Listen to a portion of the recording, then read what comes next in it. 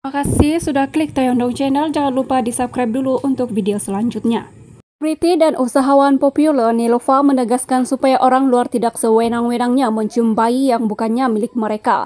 Menerusi hantaran yang dibuat oleh Nilova di Story, selebriti tersebut mengulang siar sebuah video yang berkongsi sebab Buruk orang ramai tidak sesuka hati memegang bayi milik orang lain karena si kecil boleh terdedah dengan jangkitan pernafasan respirator sensitif virus RSV yang menjejaskan paru-paru dan sistem badan lain. Dalam pada itu, pengacara Next to Nilova itu sempat menitipkan pesanan berharap agar orang di luar sana tidak terasa hati dengan nasihat yang diberikan karena ia adalah demi kesehatan bayi. Jangan cium bayi orang lain, cium anak sendiri boleh, oke? Okay? Jangan terasa karena itu semua demi kesehatan bayi ke kecil, kata Nilova. Nilova turut berkongsi pengalaman yang membimbingkan apabila melihat anaknya Muhammad Bilal disentuh orang lain.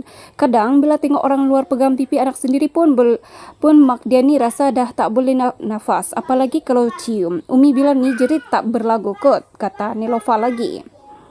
Untuk info, Nilova atau nama sebenarnya Nur Nilova Muhammad Nur telah mendirikan rumah tangga bersama pendakwa selebriti Haris Ismail yang lebih dikenali sebagai Piuris dan dikurniakan seorang cahaya mata lelaki.